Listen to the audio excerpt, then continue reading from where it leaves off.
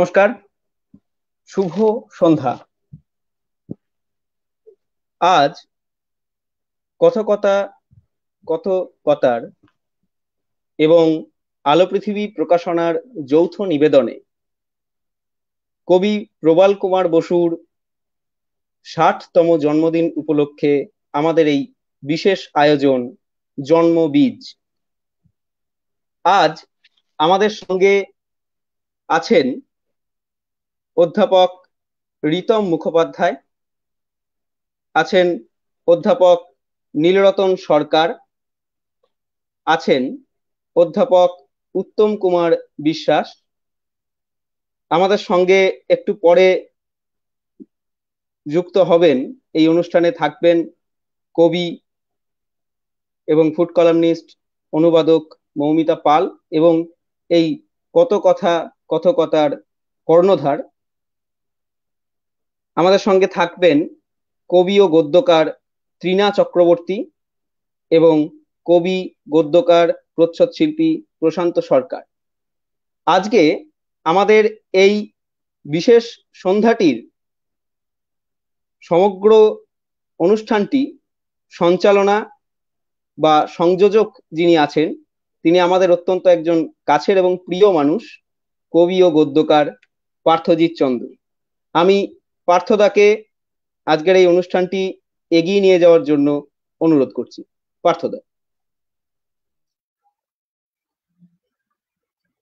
নমস্কার। শুভজিৎ জানিয়ে দিয়েছে, আমাদের অত্যন্ত কাছের মানুষ, অত্যন্ত প্রিয় কবি, গদ্যকার কবি প্রবাল কুমার বসুর ষাটতম জন্মদিন। আজ। উনিশশো ষাট সালে কলকাতায় কবি প্রবাল কুমার বসুর একুশে সেপ্টেম্বর কবি প্রবাল কুমার বসু জন্মগ্রহণ করেন। আমরা অনেকেই জানি যে প্রবালদার বাবা বিখ্যাত প্রকাশক এবং বিখ্যাত সম্পাদক শ্রী দেবকুমার বসু এবং মা হচ্ছেন ছন্দা বসু। দেখতে দেখতে প্রবালদার ষাট বছর প্রবালদাকে কেন্দ্র করে একটি ট্যাগ ভার্চুয়াল মিডিয়ায় বারবার ভেসে ওঠে, যে তারুণ্যের কোনো বয় না। আমাদেরও তাই বিশ্বাস যে প্রবালদা চির, প্রবালদার লেখা চিরতরুণ আজ আমাদের এই আড্ডাটি মৌমিতা এবং শুভদীপ করেছে। তাতে আমাদের মধ্যে যারা যারা রয়েছেন এই মুহূর্তে এই সময়ের অত্যন্ত গুরুত্বপূর্ণ ঠিক এবং অধ্যাপক রিতম মুখোপাধ্যায়, অধ্যাপক আর বিশ্বাস, অধ্যাপক নীলরতন সরকার আমাদের মধ্যে এসে গেছে। আমাদের প্রিয় তরুণ কবি মৌমিতা পাল, ফুড কলামনিস্ট এবং মৌমিতা চমৎকার অনুবাদও করে। আমি একদম প্রথমে মৌমিতার বোধহয় যান্ত্রিক গোলযোগের কারণে মৌমিতা একটু অসুবিধে হলো বোধহয় এখানে আসতে। তো আমি আমি আমাদের অত্যন্ত প্রিয় গদ্যকার এবং অধ্যাপক রিতম মুখোপাধ্যায়কে প্রবালদার কাব্যনাট্য নিয়ে একটি তার অনুভবের কথা এবং প্রবালদার কাব্যনাট্য কোন কোন স্বকীয়তায় উজ্জ্বল। এবং তার এই মানে আনন্দের একটি সময় রিতম তার অনুভব ব্যক্ত করবেন। আমি তার আগে কয়েকটি কথা শুধু মৌমিতাকে বলতে অনুরোধ করছি যে আজকের এই বিশেষ দিন তোমরা তো তরুণ কবি, তোমরা প্রবালদাকে নিয়ে এই যে আয়োজন করেছ তুমি কথা যদি বলো। প্রথমত আমি প্রথমেই মাফ চেয়ে নিচ্ছি যে আমি নিজে আয়োজক হয়ে শুরুতে থাকতে পারলাম না যান্ত্রিক ত্রুটির জন্য। তো প্রথমেই প্রবালদাকে জানাই শুভ জন্মদিন এবং আমরা এই প্রত্যেকেই এই বিষয়ে যারাই পোস্টার শেয়ার করেছি, তো প্রত্যেকেই বলেছি তারুণ্যের ষাট বছর। তো অবশ্যই কবির ষাট বছর নয়, আমরা তারুণ্যের ষাট বছরকে স্বীকার করে নিচ্ছি। এবং আমি এখানে কোনো কথা বলাচ্ছি, আমি বরং কবির একটি কবিতা পাঠ করি। করে আবার পার্থজিৎদার কাছে বরং আমরা ফিরে যাব। আড্ডা চলতে থাকবে। তো আমি কবিতা পাঠ করে শোনাই। কবিতাটির নাম, ছলনার চারিপাশে। ছলনার চারিপাশে মানুষের বসতি ছিল ঘন। জ্যোৎস্নায় স্নান সেরে এ দৃশ্য তো নিজেই দেখেছি। মানুষে বিবাদ করে, মানুষেই প্রণয়ে বিহবল। দৈনিক তাপ রাতে কামনায় জল হয়ে যায়, বসতির ঘনত্ব বাড়ে ক্রমশই ছলনাকে বদ্ধমণি করে। এসব আমারই কথা। আদালতে ভুল সাক্ষ্য দিই। কত তেজ বুকে আছে, নিজের বিরুদ্ধে নিজে যাব। সমস্ততে একাকার এ এক আজব দেশে আছি। তবু ভাবি, একা একা যখন নিজের কাছে আসি, বড় দুঃখে নিজ হাতে সন্তানের চোখ গেলে দিই। ছলনার চারিপাশে মানুষের বসতি তবু দেখি। ক্রমশই বেড়ে যায় উপন্যাসে ক্রমশোর মতো। পার্থজিৎদা মৌমিতা প্রবালদার একটি কবিতা পাঠ করে শোনালেন তার মৌমিতা পড়েছে এবং কবিতাটিও আমাদের প্রিয় কবিতা। তো যে কথা হচ্ছিল, আমাদের আড্ডার ঢঙেই অনেকটা এই চলবে। আমি প্রথমেই রিতমকে অনুরোধ করছি প্রবালদার কাব্যনাট এবং অবশ্যই প্রবালদার তার সঙ্গে কবিতার যে নিজস্ব জগৎ, সেই নিয়ে রিতম তার অনুভবের কথা যদি আমাদের শোনে।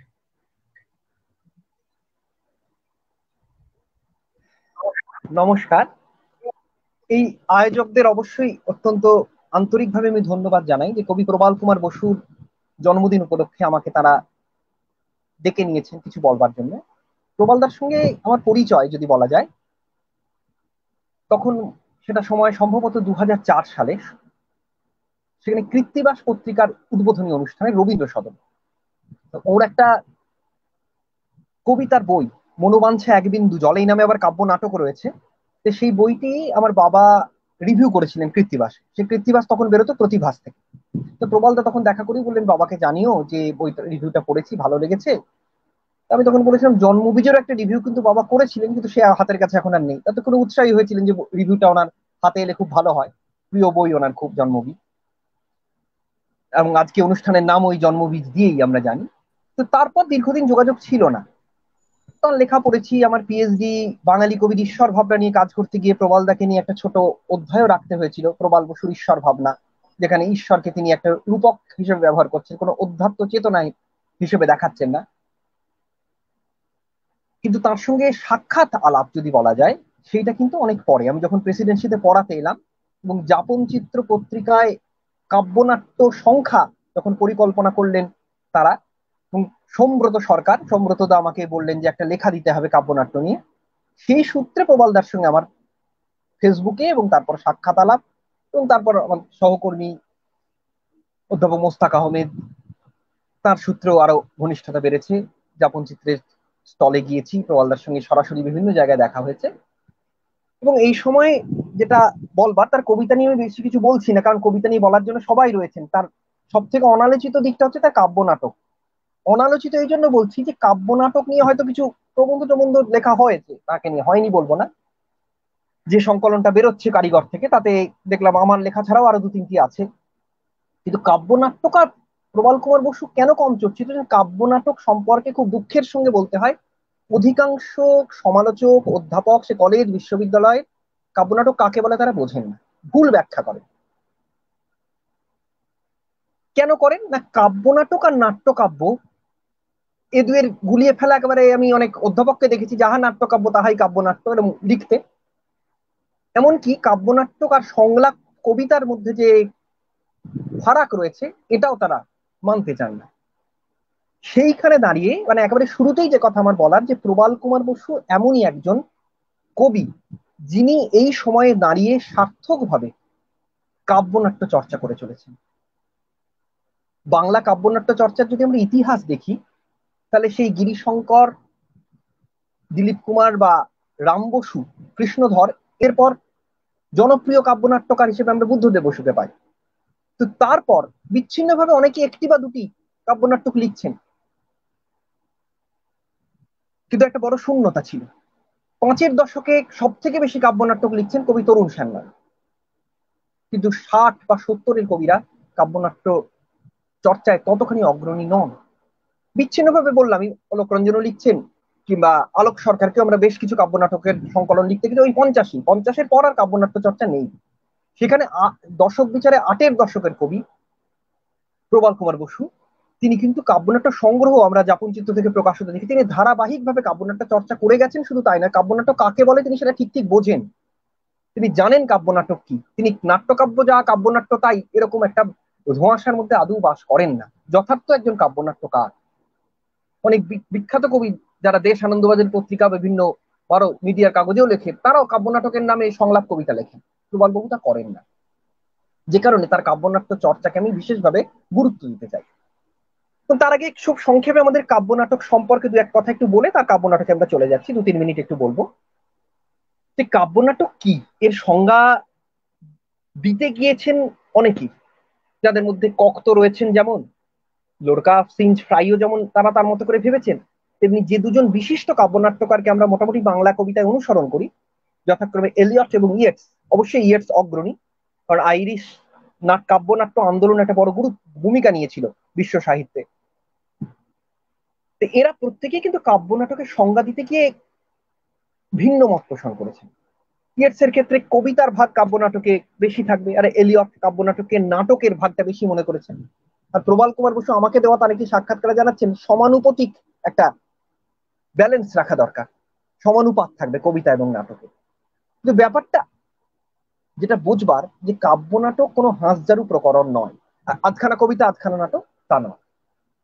এলিয়ট সারা জীবন কাব্যনাট্য চর্চা করে কাব্যনাট্যের তত্ত্ব তৈরি করেও জানাচ্ছেন কাব্যনাটক অপ্রাপণীয় আনঅ্যাটেইনেবল আর ইয়েটস মানুষের গহম, অগম মনকেই কাব্যনাট্যের এলাকা বলে মনে করছেন এখন যদি একটা বাক্য দিয়ে তাহলে আমাকে বলা হয় যে এত জটিল যে ব্যাপার, তুমি তাকে কীভাবে প্রকাশ করবে? এক কথায় বলব, কাব্য নাটক হলো নাটক। যার অন্তঃসার কবিতা। একেবারে একটি বাক্যে তাকে বলা যায়।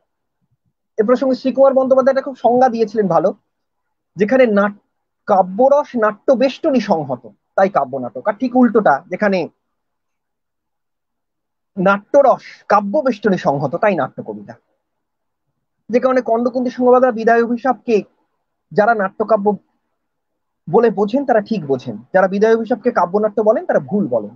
রবীন্দ্রনাথের কাব্যনাট্য নামে বইও লেখা হয়, যদিও রবীন্দ্রনাথ কতখানি সার্থক কাব্যনাট্যকারী নিয়ে ভীষণভাবে বিতর্ক রয়েছে। কারণ রবীন্দ্রনাথ কোথাও তত্ত্বের দিকে ঝুঁকেছেন, কোথাও অতি লিরিসিজমের দিকে চলে গিয়েছেন। যে ব্যালেন্স কাব্যনাটকে রবীন্দ্র সাহিত্যে মাঝে মাঝে অভাব দেখা গিয়েছে যদিও ডাকঘর, রথের রশি, এই নাটকগুলো কাব্যনাট্যের লক্ষণ কিছু কিছু ছিল, কিন্তু তার প্রথম পর্বের নাটককে যেমন রাজারানী, মালিনী ইত্যাদিগুলোকে অনেকে কাব্য নাটক বলতে চান টেকনিক্যালি এটা ভুল। যাই হোক তাহলে সেই যে কাব্য নাটক আমরা এপার বাংলা থেকে ওপার বাংলায় শামসুল হক বলুন, এই সমকালে বা তার আগে যে নামগুলো আমরা করলাম, প্রবাল বসু তাদের উত্তর জাত প্রবাল বসুর যে কাব্যনাট্য সংগ্রহ, তার ভূমিকা লিখেছেন রাম, আমাদের উল্লেখ করেছেন বুদ্ধদেব বসুর কথা, জনপ্রিয় কাব্যনাট্যকার হিসেবে। কিন্তু যেমন সম্ভবত কাব্যনাট্য তত্ত্ব সম্পর্কে চর্চা করেন না সেরকম ভাবে দুঃখের সঙ্গে বলতে হচ্ছে। সে কারণে তিনি প্রবাল বাবুর আলোচনাটি ভালোই করেছেন, কিন্তু ইতিহাসটি ধরে দিতে পারেননি। যে প্রবাল বসু সেই কাব্যনাট্যকারদের উত্তর শুরু যারা সমাজ ভাবনাও তার মধ্যে ভেবেছেন। বুদ্ধদেব বসুর সমাজটা পুরাণের প্রচ্ছদে ছিল। কিন্তু আমাদের প্রবাল বাবুর সমাজ ভাবনার সঙ্গে আমরা পূর্ব পূর্বজ হিসেবে যাকে যাদের গ্রহণ করতে পারে, তার মধ্যে রাম বসু যেমন আছেন, তরুণ সান্যাল যেমন আছেন কৃষ্ণধর যেমন আছেন, এদের সঙ্গে আমরা প্রবাল বসুকে একটা তুলনায় যেতে পারি এদেরই সার্থক উত্তরসূরি তিনি। যিনি কেবলমাত্র পুরাণ বা রূপককেই অবলম্বন করছেন না, তিনি কিন্তু সমাজকেও দৈনন্দিন জীবনের ছবি ছবিকেও কাব্যনাট্যে আনছেন। যেমন সেইটি ধরেছেন দৈনন্দিন জীবনের কথা। তিনি বলছেন যে জীবনের সমস্যা, সংকট, প্রবণতা, অসঙ্গতিকে তিনি সকপল কল্পিত আখ্যানা চরিত্রে ধরেছেন, সেটা তিনি মেনেছেন সমকালীন জীবন। কিন্তু সেই ধারাটা তিনি কোথা থেকে পেলেন? সেটা কিন্তু রাম বসু, কৃষ্ণধর, তরুণ শ্যাম নালীদের থেকে পাওয়া। যাই হোক এবং তাহলে কাব্য নাটকের সংজ্ঞা সম্পর্কে আমি যে বললাম, খুব জটিলতা। এলিয়ট থার্ড ভয়েসের কথা বলছেন, যে তৃতীয় কণ্ঠস্বর। একটি কণ্ঠস্বর হচ্ছে কবির নিজের কণ্ঠস্বর, যেটা তিনি নিজেকে শোনান। আরেকটি কণ্ঠস্বর অন্যকে শোনানোর জন্য এবং তৃতীয় কণ্ঠস্বরটা হচ্ছে চরিত্রগুলোর মধ্যে ছড়িয়ে থাকা, সেটাও কবির কণ্ঠস্বর। সেই জায়গাটাই হচ্ছে ব্যঞ্জনার জায়গা। যে নাটকটা হওয়ার পরে একটা রেস থেকে যায়। যারা তপস্বী তরঙ্গিনী পড়েছেন সব থেকে সহজ দৃষ্টান্ত, এই রেসটা তারা টের পাবে। বা আমাদের রাম বসুর পার্থ ফিরে এলো। কাব্যনাটকে যে সংজ্ঞা বা বৈশিষ্ট্য যদি বলা যায়, দু একটা বাক্যে, কাব্যনাটকে সুষম একটা সাংগীতিক মিলন থাকবে মানব মনের গহন অনুভূতি থাকবে, আর থাকবে কি মোমেন্ট অফ ইন্টেন্স লিভিং এটা ইয়েটস এর কথা। এবং মঞ্চস্থ হওয়া একটা তার দায়বদ্ধতা। তাহলে একটা অমর্ত্য এবং দুর্লভের সাপ কিছুটা ছোট গল্পের সঙ্গে কাব্যনাটকের তুলনা চলতে পারে, কিন্তু কখনোই কাব্যনাটক নাটকের সংক্ষিপ্ত সংস্করণ নয়, কাব্যনাটক সংলাপবদ্ধ কবিতা নয়, কাব্যনাটক নাটক যার ভিতরে কবিতার মেজাজ বা কবিতার অন্তর স্পন্দন আমরা টের পাবো। প্রবাল বসুর যে কাব্যনাটক সংগ্রহ দু হাজার তেরো সালে বেরোচ্ছে, সেখানে কয়েকটা কাব্যনাটকের একটু উল্লেখ করে আর পাঁচ মিনিট, চার পাঁচেক আমি বলব। যেমন আরশিনগরে মুখোশওয়ালা বলে একটা নাটক। সেখানে মৃগেন বলে একটা চরিত্র আমরা দেখছি। নামি দামি মানুষের মুখ, মুখোশের দ্বন্দ্ব আমরা লক্ষ্য করছি। মুখোশওয়ালা রূপকের সমাপ্তি যে সংলাপ দিয়ে হচ্ছে, লক্ষ্য করুন, ঢেকে রাখাই তো সুসভ্যতা। সমাজ তো শেখায়, তবে আমি মুখোশ বানাই অন্য এক নেশায়। এই মুখোশের মুখ দেখতে দেখতে আমরা আসল মুখগুলি ফেলেছি, হারিয়ে হারিয়ে ফেলেছি নয়, ফেলেছি, হারিয়ে। এই যে কবিতার চলন, এই ভাষাগত বিচ্যুতি, যেটাকে Roman Jakobson organise violence, committed of speech বলে মনে করতেন। তাহলে কাব্যনাট্যকার অন্তরালের মুখকে তুলে আনছে যে মুখোশওয়ালা একটা রূপক, সেখানে মানুষ, আধুনিক মানুষের মুখ মুখোশের দ্বন্দ্ব এখানে ব্যবহৃত হচ্ছে। খুব বিখ্যাত তার কাব্যনাটকগুলোর মধ্যে ব্যাধি, যেখানে অন্ধত্বকে ব্যবহার করা হচ্ছে। হোসে সারামাগোর ব্লাইন্ডনেস মেটাল লিঙ্কে সাইটলেস এই নাটকগুলোর স্মৃতি আমাদের মনে আসবে। যেখানে অন্ধত্ব প্রত্যেকেই এখানে বরণ করে নিয়েছে। তারা জন্ম থেকে একটা অন্ধ হচ্ছে না, আঠারো বছর পেরোলে অন্ধ হয়ে যাচ্ছে। কিন্তু ব্যবসায়িক উপাদান হিসেবে অন্ধত্ব বাজারে বিকয় ভালো। সেই জন্য তারা অন্ধত্ব থেকে দূর করতে চাইছে না। যে কারণে তাদের সংলাপ একটা এরকম, আমাদের অপেক্ষা করতেই হয়, সারা জীবন ধরে অপেক্ষা করতে হয়। এই অপেক্ষার কোনো পরিণতি নেই। এই অপেক্ষা একটা দর্শন পজিটিভ দর্শন। এই যে সংলাপগুলো গদ্যে সংলাপ?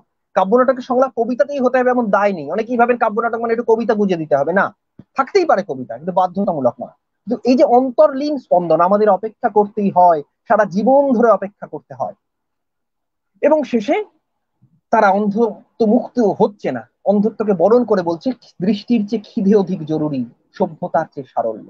মৃত্যু প্রদর্শনীতেও ঠিক একই রকম শিল্পী অগ্নিবমিত্র নিজের অন্ধত্ব বেচতে চান না।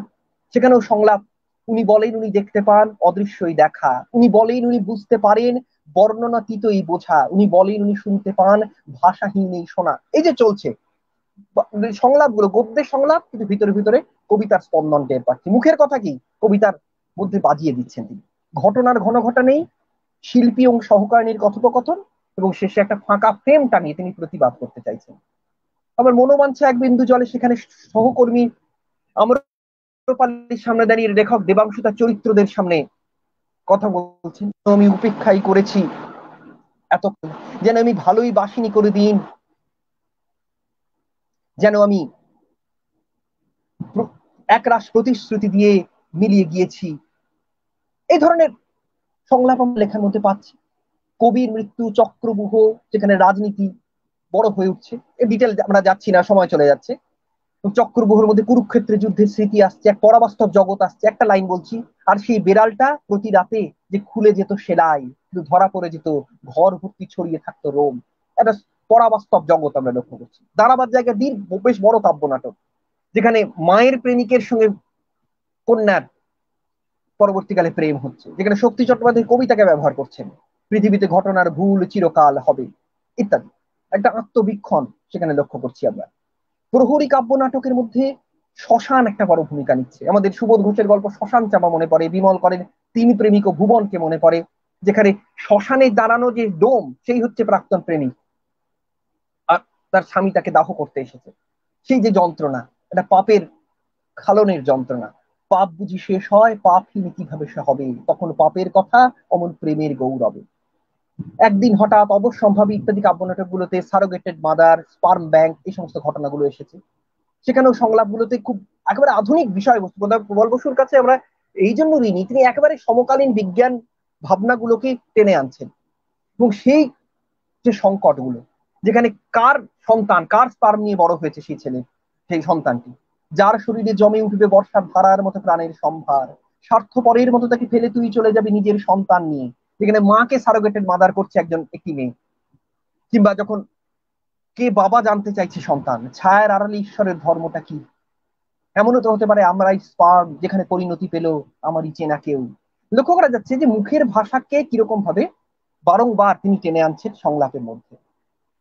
কিংবা দিগন্তিকা বলে একটি চরিত্র, যার মাকেই সে করে তুলছে না নিয়ে নিজের সন্তানের জননী। অর্থাৎ কে মা হবে? মা না দিদিমা?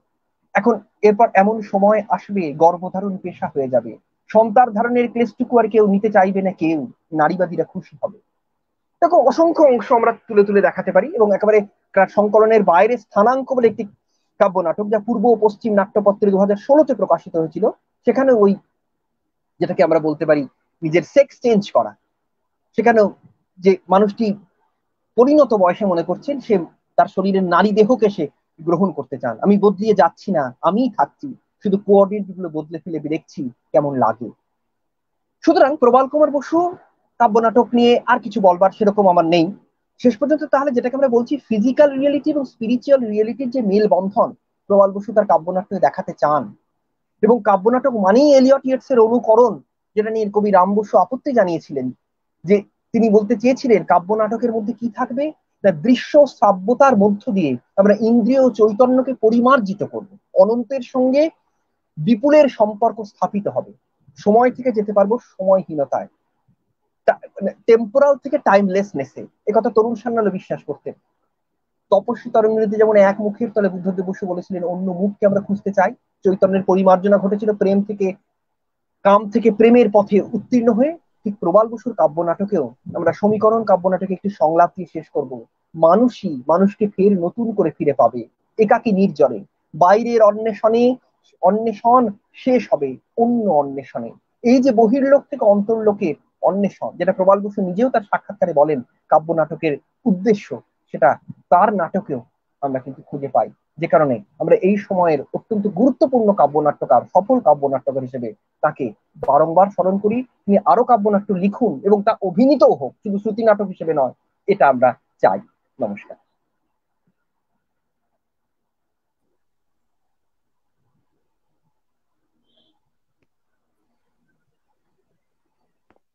ঋতম মুখোপাধ্যায় প্রবালদার কাব্যনাট্য নিয়ে অত্যন্ত সমৃদ্ধ আমার শোনা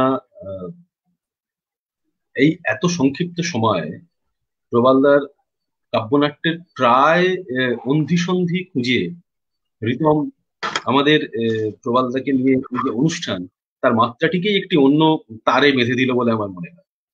রিতমকে যতটা অভিনন্দন জানানো যায়, ততটাই বোধহয় কম হয়ে যাবে।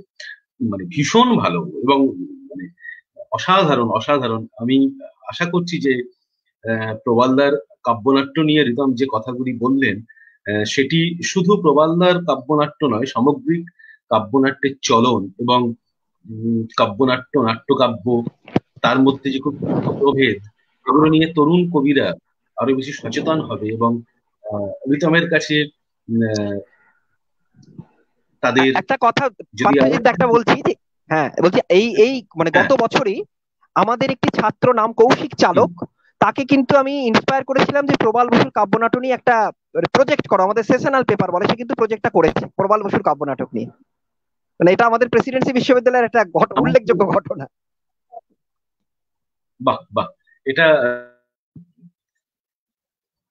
রিতম উত্তম বাবু এবং নীল সরকারের মতো অধ্যাপকেরা থাকলে বোধহয় বাংলা কবিতার জগৎ অন্যরকম ভাবে একটু সমৃদ্ধ হবে। রিতম আমাদের যে তার, সেই তারটি অত্যন্ত উঁচু তারে বেঁধে দিয়েছে। প্রবলদা মূলত বাংলা কবিতার জগতে দশক ওয়ারি যে বিভাজন, সে নিয়ে বিতর্কের কোনো শেষ নেই যে দশক ওয়ারি বিভাজন আমরা মানবো কি মানব না। তো যাই হোক, মোটামুটি দশক ওয়ারি বিভাজন নিয়ে যে বিতর্ক আছে, সেই বিতর্কের বাইরে বেরিয়েও একজন কবির আত্মপ্রকাশের যে দশক, সেই দশকটাকে যদি আমরা মান্যতা দিই, তাহলে প্রবালদা আটের দশকে আত্মপ্রকাশ করেছিলেন। এবং অনিবার্যভাবেই আটের দশকের যে সমস্ত মৌল লক্ষণ বা যে সমস্ত কি বলব, যে মৌল লক্ষণগুলো প্রবালদার লেখায় তো অনিবার্যভাবে ফুটে উঠেছে। তারপরেও প্রবালদা কিন্তু নয়ের দশক এবং শূন্য দশকে, শূন্য পরবর্তী দশকে প্রবালদা প্রবলভাবে সৃষ্টিশীল। প্রবালদার কবিতার এই যে বিস্তার প্রবালদার কবিতার একদিকে হরাইজন্টাল এক্সপানশন আর একদিকে ভার্টিক্যাল এক্সপানশন প্রবালদার কবিতা আটের দশক কবিতা হয়েও কীভাবে সেটি নয়ের দশক শূন্য দশক শূন্য দশক পেরিয়ে প্রথম দশক তরুণ কবিদের আকৃষ্ট করে রাখছে প্রবালদার মৌল লক্ষণগুলো কি? আমি এই নিয়ে অধ্যাপক নীলরতন সরকারকে অনুরোধ করছি তিনি যদি তার মননঋদ্ধ কথা নীলরতন বাবুকে আমি অনুরোধ করছি। নীলরতন বাবু মাইকটা মিউট করা আছে শুভদীপ হ্যাঁ হ্যাঁ শোনা যাচ্ছে? এবার শোনা যাচ্ছে। হ্যাঁ। নমস্কার। প্রথমেই যারা আছেন তাদেরকে আমার শুভেচ্ছা জানাই এবং অবশ্যই আজকে প্রবল কুমার বসুর জন্মদিন তাকেও শুভেচ্ছা জানাই। রিতমদা যেমন বলছিলেন যে ব্যক্তিগত আলাপ পরিচয়ের কথা আমার সঙ্গে প্রবাল বাবুর ব্যক্তিগত আলাপ পরিচয় সামান্যই। এই কিছুদিন আগেই মাত্র একবারই ওনাকে আমি মুখোমুখি দেখেছি, সামান্যই একটা দুটো কথা রাস্তায় দাঁড়িয়ে হয়েছে। ফোনে অবশ্য কিছু কথা হয়েছে। কিন্তু তার সম্পর্কে একটু একটু জানাশোনা বা তার কবিতা পড়া, এই এই সবটা নিয়ে সামান্যই একটা দুটো কথা আমি দশেক আমি বলব। যেমন পার্থজিৎ বাবু বললেন যে দশকওয়ারি বিভাজনটা বেশ গন্ডগোলের। এটা অনেকেই মানতে চান না, আমিও যে সবসময় মানি এমন নয়, কিন্তু তবুও কোনো একজনকে নিয়ে আলোচনা করার জন্য বা কয়েকজনকে নিয়ে আলোচনা করার জন্য এইরকম একটা বিভাজনের অন্তত আলোচকদের সুবিধের জন্যই সম্ভবত তৈরি হয়েছিল। সেটা এখন নিশ্চিত করে বলা যায় না, কিন্তু আমরা যেটা দেখি যে মোটামুটি ভাবে একজন কবি কোন দশকে উঠে আসছেন, তার নিরিখেই তার দশকটা চিহ্নিত করে দেওয়া হয়। সবসময় যেটা ঠিকঠাকই হয় তা নয় সেই তর্কের মধ্যে আমরা যাব না, কিন্তু ওই যে আটের দশকের কবি বলা হচ্ছে প্রবল বসুকে, আমি শুধু মানে গন্ডগোলটা কীরকম, একটা উদাহরণ দিই এটা বেশ আমাদের সবসময় মনে থাকে না এটা, যেমন বিষ্ণুদে এবং অমিয় চক্রবর্তী, এ দুজন বর্ষিয়ান কবি, তাদের কবিতার বইও কিন্তু আটের দশকে বেরিয়েছে এবং তরুণ কবি যারা সেই দশকের প্রবল কুমার বসু তো আছেনই, তিনি আজকে আমাদের সমস্ত আলোচনা জুড়েই আছেন। এই দশকে আর যারা আছেন, জয়দেব বসু, রাহুল পুরকায়স্ত সুতবা সেনগুপ্ত, মল্লিকা সেনগুপ্ত, চৈতালি চট্টোপাধ্যায় এই প্রত্যেকেই যারা আছেন আরও অনেকেই আছেন আটের দশক এক ঝাঁক কবি আটের দশক আমাদের সামনে এনে দিয়েছে। এবং তাদের বেশিরভাগই এখনও সৃষ্টিশীল। তারা এখনও লিখছেন এবং আগামী দিনেও আরও লিখবেন। আজকে তাদের মধ্যে একজন কবি ষাট বছরে পা রাখলেন। ফলে আমরা আশা করছি তিনিও আরও বেশ কিছুদিন লিখবেন। তো আমি যেটা বলতে পারি যে আটের দশক ব্যাপারটা খুব একটু অদ্ভুত একটা দশক। অদ্ভুত এই কারণে আটের দশককে আমরা যখন আটের দশককে যখন আমরা বিচার করি, তখন ওটা ওই সাত আর নয়ের মাঝখানে একটা স্যান্ডউইচ হয়ে থাকা দশক। কারণ আটের দশকের প্রথম কয়েকটা বছর একদম সাতের দশকের স্মৃতি বয়ে আনা সমস্ত দিক থেকে। আমি শুধু কবিতার কথা বলছি না, আমি আমাদের সমাজ, আমাদের সংস্কৃতি, আমাদের আমাদের ভাবনা, চিন্তা সমস্ত জায়গাতেই সাতের দশককে বয়ে আনা একটা একটা চেষ্টা। আর দেখুন, আর আটের দশকের শেষ হয়ে আসছে যখন, তখন আমরা কিন্তু নয়ের দশকের একটা আগমনী শুনতে সব দশকেই এটা হয়। কিন্তু আটের দশকটা যেন মানে আটের দশক আসলে কি? তাকে আলাদা করে কীভাবে চিনবো আমি? যেভাবে সাতকে চিনি, যেভাবে পাঁচকে চিনি, যেভাবে ছয়কে চিনি, অন্তত বাঙালি সাংস্কৃতিক অভিজ্ঞান দিয়ে আমি কীভাবে চিনবো আটের দশককে? যেভাবে যেভাবে নয় কেউ চিনি। আটের দশকটা কিন্তু আমাদের বেশ একটা গোলমালে করতে হয়। ওই যে বললাম যে, একদিকে সাত রয়েছে প্রবল একটা একটা স্বাতন্ত্র নিয়ে। অন্যদিকে নয়, যেটা নতুন শতাব্দীরও একটা পদধ্বনি, ফলে সে তারও একটা প্রবল স্বাতন্ত্র আছে। সেইখানে আটের দশকটা একটু যেন স্তীমিত। এই দশকে আমাদের অন্তত বাংলাদেশের রাজনৈতিক পরিসরটা বেশ শান্ত। অন্তত তার আগের কয়েক দশকের মতো সেই রকম রাজনৈতিক বিভিন্ন রকম যে সভা, সমিতি ইত্যাদি বা আন্দোলন, নকশালবাড়ির আন্দোলন অনেকটাই স্তীমিত হয়ে গেছে রাজ্যে একরকমের একটা বামপন্থী সরকার ইত্যাদি ইত্যাদি, এই সমস্তটা মিলিয়ে। এর মধ্যে আরেকটা ব্যাপার হয় যে বামপন্থা তো একজন শিল্পীর মানে তিনি রাজনৈতিক দর্শনে বামপন্থী হন বা না হন, কিন্তু একজন শিল্পীর ক্ষেত্রে বামপন্থাটা একটা আদর্শ। একটা না একটা সময়ে তিনি সেই আদর্শের মধ্যে থাকেনি কিন্তু খেয়াল করে দেখুন, এই একটা দর্শক যার সামনে কিন্তু কোনো ভিয়েতনাম যুদ্ধের বিরুদ্ধে লড়াই লড়াই করার মতো কোনো অঙ্গীকার নেই। সামনে একটা একটা বিরাট বিপ্লবের স্বপ্ন দেখার কোনো সম্ভাবনা নেই। এই একটা দশক বরং ঠিক তার উল্টো, কিছুদিনের মধ্যেই সোভিয়েত রাশিয়া ভেঙে পড়বে। বার্লিন বার্লিন দেয়াল ভেঙে যাবে। এই এই সবটা মিলিয়ে অন্তত রাজনৈতিক দিক থেকে বা আমি যেটা বলছি, বারবারই যেটা বলছি যে ওই সাতের স্মৃতিকে বয়ে বয়ে চলছে এই দশক এবং এবং ওই নিজের শটটাকে খুঁজছে। এই অবস্থায় দাঁড়িয়ে আমি যদি দেখি যে আটের কবিদের মধ্যে ধরা যাক জয়দেব বসু, প্রবল একটা রাজনৈতিক স্বর নিয়ে তিনি আছেন। বা ধরা যাক রাহুলের কথা যদি আমি বলি, রাহুল রাহুল রাহুল প্রকাশ তো তার কবিতার মধ্যেও মানে রাজনৈতিক স্বরটা প্রখর, কিন্তু সেখানে তিনি নিজেকে বা নিজের নানা রকম একেবারেই নিজের ব্যক্তিগত কিছু কথা তার মধ্যে তুলে ধরার চেষ্টা করছেন। সেইখানে আমি যদি প্রবাল বসুকে দেখি, তার তুমি প্রথম বইটা বেরিয়েছিল এবং এই এই দশ বছরের মধ্যে আমি দেখব আরও বেশ কিছু বই আরও দুটো বই অন্তত তার বেরিয়েছে।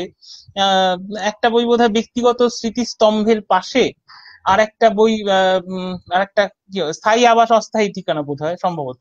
আর খেয়াল করার ব্যাপার, ওই জন্মবিষ বইটাও এই সময় লেখা হয়ে গেছে, সাতাশি, অষ্টআশি সালে লেখা হয়ে গেছে।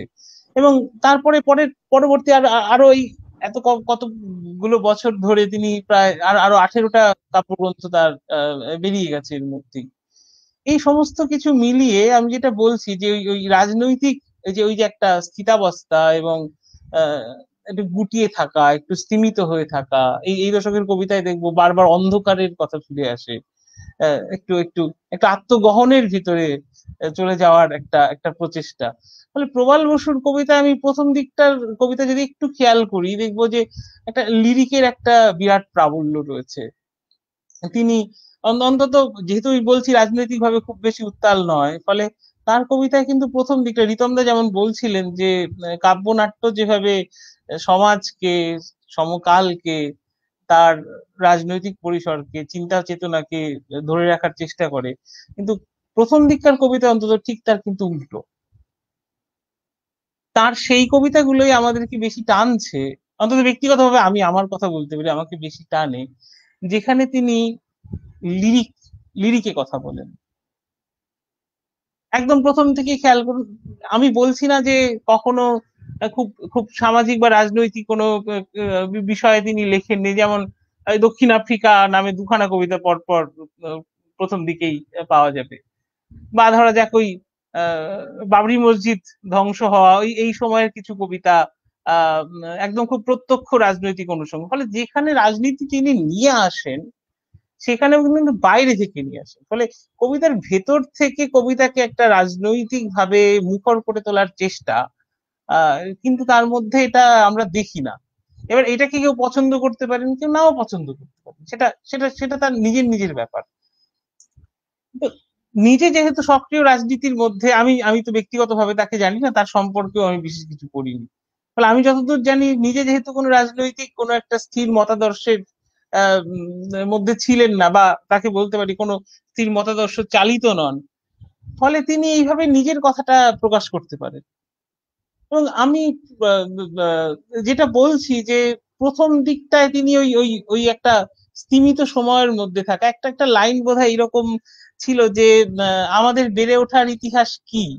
পুলিশের গুলিতে ছোটদার হারিয়ে যাওয়া, আমি কবিতাটা খুঁজলাম আর পেলাম না, বা, অথচ লাইনগুলো আমার মনে আছে যে পুলিশের গুলিতে ছোটদার হারিয়ে যাওয়া আর তোমার রানুদি হয়ে ওঠা, এই রানুদির কথা বিভিন্ন কবিতার মধ্যে ফিরে ফিরে ফিরে ফিরে আসবে। তো এইভাবেই একজন কবির যাত্রা শুরু হয়েছিল। আমি আমি বলছি না, তিনি লিরিকেই স্থিত থেকেছেন চিরদিন। যেমন নতুন শতাব্দীতে তার কবিতার ভাষা সম্পূর্ণ বদলে গেছে। শেষ দুটো বই বালিতে জলের দাগ বা বকুল, বামাপদ, নিমাই আর আমি, যে এই দুটো বইয়ের ভাষা সম্পূর্ণ অন্যরকম কিন্তু প্রথম দশ, পনেরো বছর তার যে কবিতা, এই এই কবিতার এই লিরিক ধর্মিতাই আমাকে সব থেকে বেশি টানে। আর এইখানেই তিনি বোধহয় তার সময়ের কবিদের থেকে মানে নিজেকে এইভাবেই তিনি আলাদা করে নেন। এইটুকুই আপাতত বললাম, তারপরে অন্যরা বলুক, আবার কিছু বলা যাবে।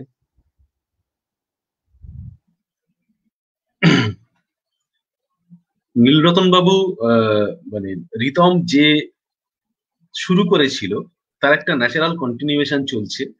নীলরতন বাবু অত্যন্ত সমৃদ্ধ এবং খুব মৌল চিন্তা ভাবনার আমাদের কাছে উপস্থিত করলেন। একই সঙ্গে আটের দশক সেটি যে সাত এবং নয়ের মধ্যে স্যান্ডউইচ হয়েছে। অনেকটা নীলরতন বাবু মনে হয় যে ষাটের দশক নিয়েও এরকমটা মনে হয় আর পাঁচ আর সাতের মধ্যে দশক অনেকটা স্যান্ডউইচ হয়ে রয়েছে এরকম মনে হয়। তো যাই হোক এগুলো পরবর্তী সময়ে আমাদের সম্পর্কে এখন এতটা দূরে চলে এসেছি তো ছয় থেকে আমরা। এবং সেই সেই কবিদের যাত্রা অনেকটাই থেমে গেছে। ভাস্কর নেই তুষার রায় নেই। ফলে তাদের সম্পর্কে একটা স্থির ধারণা আমাদের তৈরি হয়ে গেছে। আর্ট সম্পর্কে বা প্রবলবাবুর যেভাবে প্রবলবাবু নিজেকে একটার পর একটা যেমন, আমার তো এটা বিস্ময়কর লাগে বালিতে জলের দাগের পরের বই কি করে বকুল বামাপদ হতে পারে? মানে এতখানি আকাশ পাতাল ফারাক, তার ভাষা, তার চিন্তা, সমস্ত কিছু। ফলে আর্ট নিয়ে বোধ এখনও স্থির কোনো সিদ্ধান্তে পৌঁছানো আমাদের পক্ষে একটু মুশকিল। তারা প্রত্যেকে এখনও প্রায় সৃষ্টিশীল, এখনও লিখছেন তারা সকলেই। কিন্তু ওই ছয় সম্পর্কে আপনি যেটা বললেন একদম ঠিক। কিন্তু এখন এতদিন পরে দু হাজার কুড়ি সালে দাঁড়িয়ে ছয়কে আমরা আমি একটা আমার মতো সংজ্ঞায়িত করতে পারি। কিন্তু আটকে করা বোধ একটু মুশকিল হয়ে যায় আজও। হ্যাঁ। অথচ আর্ট মানে যত দিন যাচ্ছে আটের কবিরা কিন্তু আরও বেশি করে পঠিত হচ্ছে। এবং একদম হচ্ছে। হ্যাঁ। একদম যাই হোক আমাদের প্রবালদার যে আবির্ভাব প্রবালদার যে বাংলা কবিতায় আত্মপ্রকাশ সেটা তো আটের দশকেই হয়েছিল। সেই কথাগুলো বলতে বলতে অধ্যাপক নীলরতন সরকার অত্যন্ত সুচারুভাবে প্রবালদার কাব্যের যে লক্ষণ, সেগুলো ব্যক্ত করলেন। আমাদের সঙ্গে রয়েছেন অধ্যাপক বিশ্বাস এবং ত্রিনা চক্রবর্তী। উত্তমবাবু, আমি যদি ত্রিনা কাছে আসি, কোনো অসুবিধা হবে আপনার? কথাগুলো ভালো শুনতে পাচ্ছি না। খুব মানে কেটে কেটে উত্তম আপনি ইয়ারফোন ইয়ারফোন নিয়ে নিন ইয়ারফোন নিয়ে নিন। হ্যাঁ হ্যাঁ। উত্তম বাবু শুনতে পাচ্ছেন? আপনি ইয়ারফোন লাগিয়ে নিন ইয়ারফোন হেডফোন হেডফোন এইটা একটা নিয়ে নিন। হেডফোনটা লাগিয়ে নিন। আচ্ছা আমাদের সঙ্গে রয়েছে আমাদের এ সময়ের অত্যন্ত গুরুত্বপূর্ণ কবি গদ্যকার চীনা চক্রবর্তী চীনা চমৎকার অনুবাদও করে এবং সমসময়ের বিশ্ব সাহিত্যের বিশেষ করে কবিতা কোন জায়গায় দাঁড়িয়ে আছে, সে সম্পর্কে তৃণার একটি স্বচ্ছ ধারণা আছে। আমরা সবাই জানি যে প্রবালদা সাইন পোস্ট নামে একটি পত্রিকা যে পত্রিকা ইংরাজিতে প্রকাশিত হয়। এবং প্রবালদার বহু কবিতা ইংলিশে অনুবাদ হয়েছে। শুধু তাই নয়, প্রবালদা নিজেও বারবার বলেন যে কবিতা পাঠের আমন্ত্রণে নিউজিল্যান্ড এবং জাপানে যাওয়ার পর বিশ্ব কবিতার একটি জগৎ তাঁর সামনে খুলে যায়। ত্রিনাকে মানে যদিও বিস্তারিতভাবে আলোচনা করার কোনো সুযোগ নেই, কারণ সময় তো আমাদের সঙ্গে দৌড়ুচ্ছে। আমি ত্রিনাকে অনুরোধ করব যে প্রবালদার কবিতায় সমসময় শুধু বাংলা, ভারতবর্ষ তাই নয় প্রবাল কীভাবে আন্তর্জাতিক চেতনা আন্তর্জাতিক বিষয় বা বিশ্ব সাহিত্যের কবিতা এখন যে জায়গায় দাঁড়িয়ে, তার খুব সংক্ষিপ্তভাবে প্রবলদার কবিতায় তার ছায়াপাত এবং চীনা যেহেতু এই সময়ের অত্যন্ত গুরুত্বপূর্ণ একজন কবি ত্রিনাকে আমি অনুরোধ করব যে আস্ত প্রবালদার জন্মদিনে আমরা মিলিত হয়েছি। চীনা তার বক্তব্যের পর প্রবালদার কবিতা পাঠ করেও আমাদের শোনাবে। ধন্যবাদ পার্থবিদ্যা আমি প্রথমেই শুভদীপ এবং মৌমিতা মানে যারা আয়োজক, তাদেরকে আমি অভিনন্দন জানাতে চাই। এমন সুন্দর একটা অনুষ্ঠান এবং তার নামকরণ, জন্মবীজ আজকের এই দিনটার সঙ্গে এত সুন্দরভাবে খাপ খেয়ে গেছে।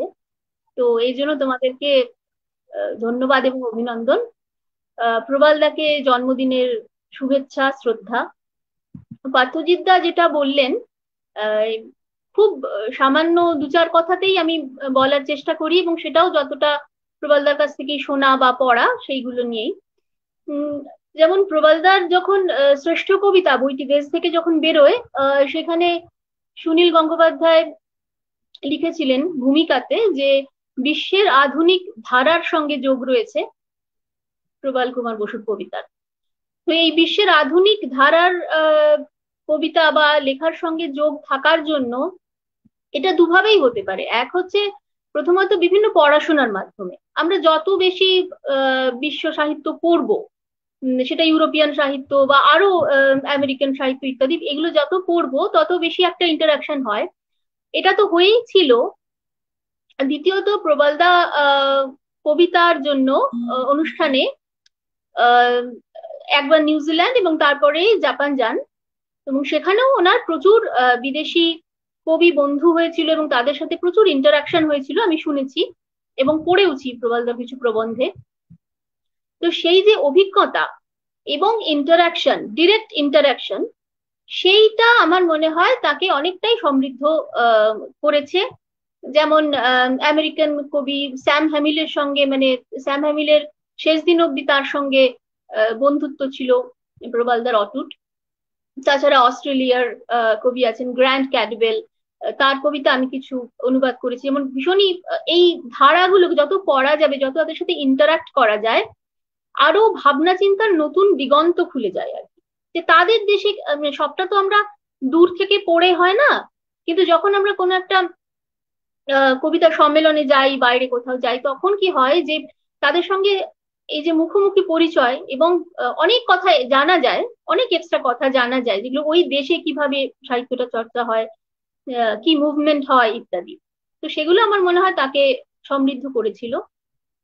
আর এই লিরিক প্রবণতা, যেমন নীলরতন বলছিলেন একটু আগে সেটা খুব সামান্য একদম শুরুর দিকের বোধ একটা দুটো বই আমি দেখেছি। এবং এই যেমন আপনাকেই ঠিক করতে হবে গন্তব্য, এখানে একটা একদম নতুন ধারার কবিতা প্রচলন শুরু করলেন বলা যায় ভাষা, কাব্য ভাষাটা একদম বদলে দিলেন এবং সেই ভাষাটা কিন্তু আমরা এখন অনেকেই ব্যবহার করি। সেটা কিন্তু শুরু হয়েছিল, আপনাকেই ঠিক করতে হবে গন্তব্য থেকে। আর আজকে আর একটাও বলার যে প্রবালদার উপর একটি বই আমরা করলাম আজকে তার উদ্বোধন হলো, তারুণ্যের স্বাদ, সমসময়ের চোখে প্রবাল কুমার বসু। এবং সেখানেও আমি খুব খুশি বলতে যে একজন নিউজিল্যান্ডের কবিও কিন্তু তিনি কিন্তু তার লেখা দিয়েছেন প্রবাল কুমার বসুর উপরে। তো এই যে যোগাযোগ বিশ্ব সাহিত্যের সঙ্গে এবং বিভিন্ন বিদেশি সাহিত্যিকদের সঙ্গে সেটা অবশ্যই একটা সমৃদ্ধ করার জায়গা। আমি আপনাকেই ঠিক করতে হবে গন্তব্য থেকে একটা কবিতা পড়ছি।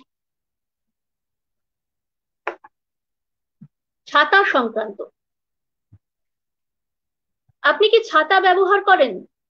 মনে করেন ছাতা সভ্যতারই অনুকূল, পরিবর্তনশীল জলবায়ু থেকে ছাতা আপনাকে রক্ষা করতে সক্ষম।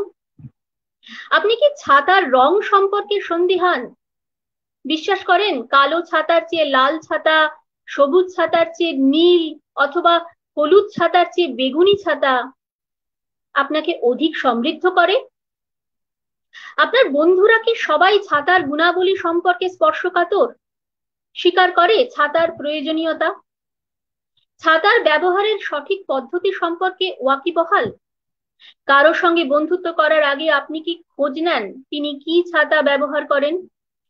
আমেরিকার প্রেসিডেন্টের ছাতা আর অমূল্য আঢ্যর ছাতার রং এক হলেও এদের রাসায়নিক চরিত্র একেবারে আলাদা।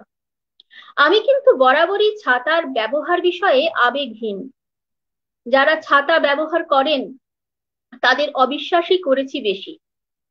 অথচ বিশ্বাস করুন, আমার সংগ্রহে দেশ বিদেশের হরেক রকম ছাতা। ছাতার মেরামরি মেরামতি সম্পর্কেও টুকটাক আমি কিছু জানি।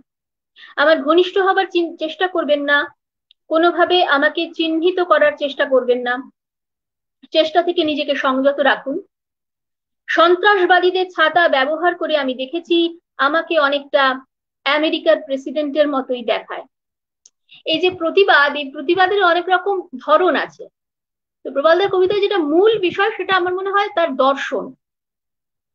এবং প্রতিবাদও কিন্তু বিভিন্ন ফর্মে এসেছে। এই যেমন ঠিক এই কবিতার শেষ দুটো লাইন সন্ত্রাসবাদীদের ছাতা ব্যবহার করে আমি দেখেছি, আমাকে অনেকটা আমেরিকার প্রেসিডেন্টের মতোই দেখায়। তো সেখানে আমরা আর বলব না যে নিজে মানে কনফেশনাল পোয়েট্রি এটা নয়, এটা আবার একদম প্রতিবাদী একটা কথা উঠে এসেছে। এটুকুই বললাম। ধন্যবাদ আয়োজকদের পার্থচিত্রা চীনা বরাবরের মতো আমাদের মুগ্ধ করল। যদিও আমরা সময়ের সঙ্গে ছুটতে ছুটতে যে সমিতিরা আমাদের সঙ্গে রয়েছেন তাদের খুব বেশি সময় আমরা শেয়ার করতে পারছি না। কিন্তু চীনা একদম যথাযথভাবে ওর পরিসরে প্রবালদার কবিতার বেশ কয়েকটি বিশেষ এনেছে আমাদের সঙ্গে রয়েছেন অধ্যাপক উত্তম কুমার বিশ্বাস প্রবালদা কাব্যনাট যেটা নিয়ে রিতম এই অনুষ্ঠান শুরু করেছিল এবং রিতম প্রবালদার কাব্যনাট্যের বেশ কয়েকটি দিক সম্পর্কে আলোকপাত করেছে। বারবার প্রবালদার কাব্যনাট্য উঠে এসেছে। প্রবালদার কাব্যনাট্যের মৌল লক্ষণগুলি নিয়ে রিতম কিছু বলেছেন। কিন্তু প্রবালদার কাব্যনাট্য এত বিস্তৃত একটি মানে ক্ষেত্র যার বিভিন্ন দিক থেকে যার ওপর আলো পড়তে পারে। আমি প্রবালদার মূলত কাব্যনাট্য এবং কবিতা নিয়ে অধ্যাপক উত্তম কুমার বিশ্বাসকে অনুরোধ করছি। উত্তম বাবু আমি অধ্যাপক উত্তম কুমার বিশ্বাসকে অনুরোধ করছি যে প্রবালদার কাব্যনাট্য এবং কবিতা নিয়ে তার যে অনুভব, সেই অনুভব যদি আমাদের সঙ্গে ভাগ করে নেয়।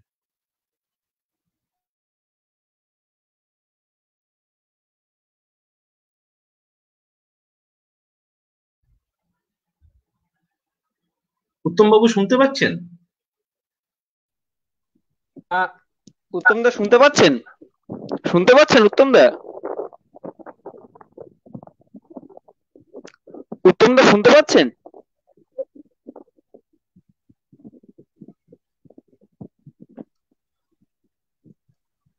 উত্তম দা শোনা যাচ্ছে? হ্যালো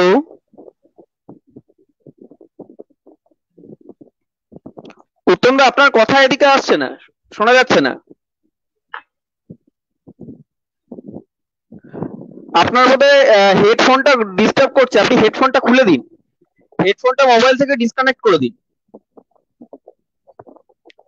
উত্তমদা, আপনি হেডফোনটা মোবাইল থেকে ডিসকানেক্ট করে দিন। না উত্তম বাবু বোধহয় শুনতে পাচ্ছেন না।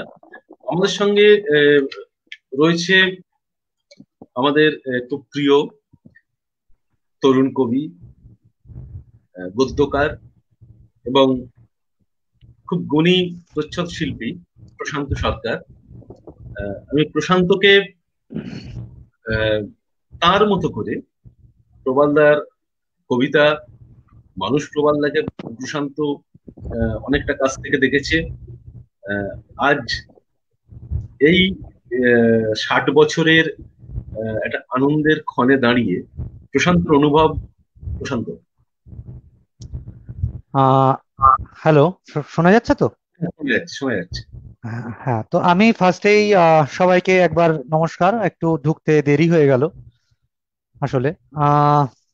এবারে আসি আজকে প্রবালদার জন্মদিন। প্রথমেই আমি এখানে ভার্চুয়াল মিডিয়ার থ্রুতে প্রবালদাকে আরও একবার শুভ জন্মদিন জানাই। আমার শ্রদ্ধা জানাচ্ছি, প্রণাম জানাচ্ছি। প্রবালদা আরও দীর্ঘদিন ধরে কবিতায় থাকুন, কবিতায় বাঁচুন এবং মানে আরও তরুণ থেকে তরুণতর হয়ে উঠুন দিনের পর দিন। প্রথমে আসি কবি প্রবাল কুমার বসু। সেটা হচ্ছে আমরা ছোটবেলা থেকেই যাদের কবিতা পড়েছি মানে কবিতা লিখতে আসার বা কবিতা বুঝে ওঠার পর থেকে, তো তাদের সাথে সাথে আরও কিছুদিন যেতে না যেতেই আমাদের, আমরা, আমি বিশেষ করে প্রবালদার কবিতার সাথে পরিচিত হই, প্রবালদার কবিতা পড়ি। তারপরে আমার যাপন চিত্রে যাওয়া শুরু হয়। সেই প্রবালদার কবিতার মাধ্যমেই আমি যাপন চিত্রে যাই এবং মানুষ প্রবালদার সাথে আরও বেশি করে পরিচিত হই এবং দিনে দিনে তার সাথে আরও ঘনিষ্ঠ হয়ে উঠি। তো আস্তে আস্তে এভাবে যাপন চিত্রের সাথে সম্পর্ক বাড়ে যাপন চিত্র পরিবারের একজন হয়ে উঠি। প্রবালদার কবিতা ভীষণ সহজ, সরল ভাষায় একটা ভীষণ বোধের একটা খেলা থাকে প্রবালদার কবিতায়। বোধের জায়গাটা খুব ভীষণভাবে নাড়া দেয়। বোধের জায়গাটা খুব ভীষণভাবে কাজ করে প্রবালদার কবিতায়। কিছু কিছু ক্ষেত্রে যদি ঘুরে ঘুরে একই শব্দ বারবার কবিতায় আসে, সেটাও যেমন একটা অদ্ভুত দোলা দিয়ে যায় সেই কবিতার ছন্দে। তো সেদিক থেকে প্রবালদার কবিতা আমার খুবই প্রিয়। এবারে আসি মানুষ প্রবালদার কথায়। মানুষ প্রবাল মানে কবি প্রবাল কুমার বসুর থেকে আমি মানুষ প্রবাল কুমার বসুকে অন্তত দশ নাম্বার হলেও বেশি দেব। তার কারণ, প্রবালদা একজন অসাধারণ একটি মানুষ। শুধু অসাধারণ বললে বোধহয় কম বলা হবে। আজকের দিনে দাঁড়িয়ে আমাদের যারা তরুণরা লিখতে আসি, তারা প্রশ্রয় পাই অথবা কবিতা শুধরে দেওয়ার যে জায়গাটা থাকে, সেই জায়গাটা আমরা খুব, আমরা আমাদের সিনিয়রদের থেকে আশা করি। তো তাই জন্যই আমরা তার কাছে সিনিয়রদের কাছে আমরা দৌড়ে যাই, তার কাছে আমরা লেখা দেখাই। যে একটা অদ্ভুত শাসন এবং প্রশ্রয় দুই একসাথে পাবো। এবং এই দুইয়ের মিশেলই প্রবাল কুমার বসু। যেমন আমি যখন প্রথম যাপন চিত্রে যাই এবং প্রবালদাকে দেখাই, প্রবালদা সেখানে যেরকম আমার কবিতায় বেশ কিছু জায়গা সংশোধন করে দিয়েছেন, সেরকম কিছু কিছু প্রশ্রয়ের জায়গাও দেখিয়েছেন, যে যে জায়গাগুলো ভালো হয়েছে সেই জায়গাগুলোও দেখিয়েছেন। সুতরাং এভাবে এবং একটা মানুষ যদি সেটা ছদ্ম হতো ব্যাপারটা তো তাহলে দীর্ঘদিন ধরে একটা ছদ্ম, একটা ছদ্মবেশ কেউ ধারণ করতে পারেন না। যেহেতু ছদ্ম নয়, প্রবাল কুমার বসু দীর্ঘদিন ধরে এটা করে আসছেন এবং ভবিষ্যতেও করে যাবেন হয়তো।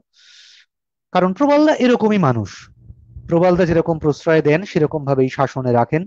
তরুণ কবিদের কবিতা ভালোবাসেন, তরুণ কবিদের ভালোবাসেন এবং তার মনে একইভাবে তরুণ কবিদের কবিতাও স্থান পায়। তো সুতরাং সেইভাবেই প্রবালদার প্রশ্রয়ে এবং শাসনে দুরকম ভাবেই আমার যাপন চিত্রে কবিতা দেওয়া এবং যাপন চিত্রের মাধ্যমেই আমার প্রথম বই প্রকাশ। তো সুতরাং সেখানে মানুষ প্রবাল কুমার বসুকে আমি অনেকটা এগিয়ে রাখব। লোকমুখে শোনা প্রবালদার বাবা দেবকুমার বসু, তিনিও মানে একজন অসাধারণ একটি মানুষ ছিলেন। তো ওনাকে দেখার সৌভাগ্য হয়নি। কিন্তু আমরা প্রবালদাকে পেয়েছি বা প্রবাল কুমার বসুর সাথে আমরা ঘনিষ্ঠ হয়ে আমরা বুঝেছি যে হ্যাঁ মানে প্রবালদা যদি এরকম হন, তাহলে হয়তো উনি হয়তো আরও খানিকটা বেশি হয়ে থাকবেন। শ্রীদেব কুমার বসু, শ্রদ্ধেয় দেব কুমার বসু। তো যাই হোক প্রবালদার সাথে আমাদের সখ্য এভাবেই। প্রবালদা ভালো থাকুন, প্রবালদা অসাধারণ একটি মানুষ, আবারও বলছি। প্রবালদার সাথে না মিশলে বোঝা বোঝা মুশকিল, বোঝা যায় না। উনি ভালো থাকুন, সুস্থ থাকুন, কবিতায় থাকুন, এটুকুই কামনা করি।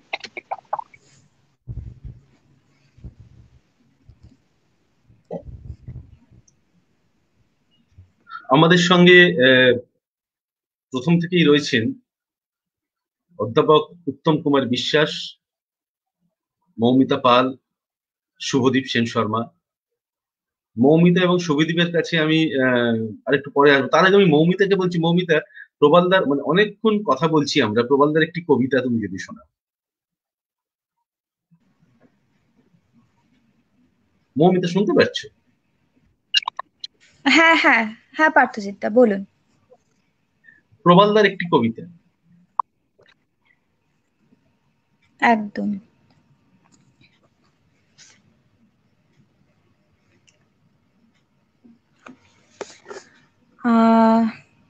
ক্ষমতার উৎস কোথায়? ক্ষমতার উৎস কোথায়? অন্ধের মতো সব দিকেই ধেয়ে কেন যায়? যেভাবে গড়ায় জল, যেভাবে সহ্যেরও সীমানা ছাড়ায়, ক্ষমতার দিকে যেতে মানুষেরা নিচে নেমে যায়। ক্ষমতা কি নিচে থাকে?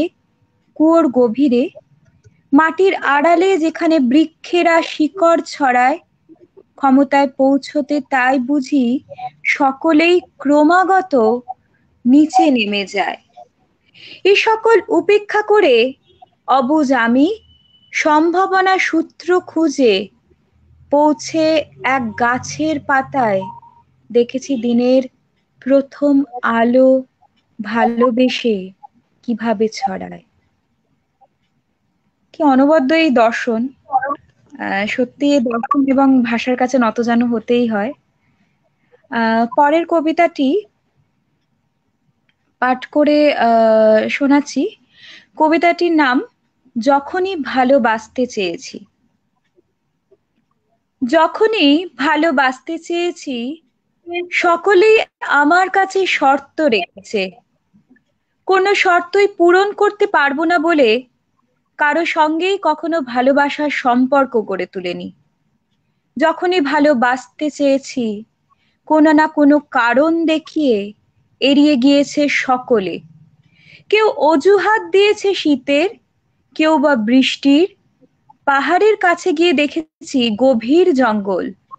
একটা ঝর্ণা রাস্তা খুঁজতে খুঁজতে ঢুকে পড়েছে তোমার ভিতরে। আর আমি সামান্য ভালোবাসার অপেক্ষায় থাকতে থাকতে একটু একটু করে অর্জিত সকল সঞ্চয় ফেলেছি হারিয়ে। যখনই ভালোবাসতে চেয়েছি, আমার সামনে এসে দাঁড়িয়েছে একটা রেলগাড়ি। আমাকে দূরে কোথাও নিয়ে যেতে চায়। ভালোবাসতে গিয়ে কি তাহলে আমাকে দূরে সরে যেতে হবে? এই দ্বিধায় শেষ পর্যন্ত কাউকেই ভালোবাসা হয়ে ওঠেনি। আমি যখনই ভালোবাসতে চেয়েছি, বারবার যখনই ভালো বাসতে গিয়েছি, অচেনা, অস্পষ্ট একটা মুখ, বৃষ্টি ভেজা বিকেলে সোনালি আলোর মতো উদ্বেগহীন আমাকে ক্রমাগত বিপর্যস্ত করে। মনে করিয়ে দিয়েছে ভালোবাসতে না পারার অক্ষমতা। সেই মুখটা যে কার, কিছুতেই বুঝে উঠতে পারিনি।